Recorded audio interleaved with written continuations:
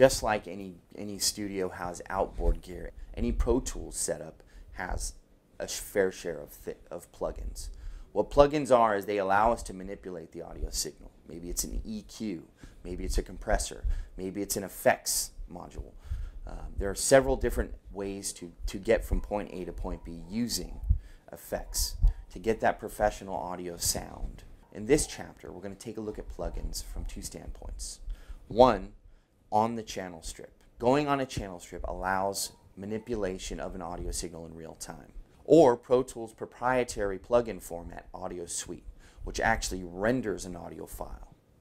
At the end of this chapter, you're also going to have a really, really cool, your first assignment.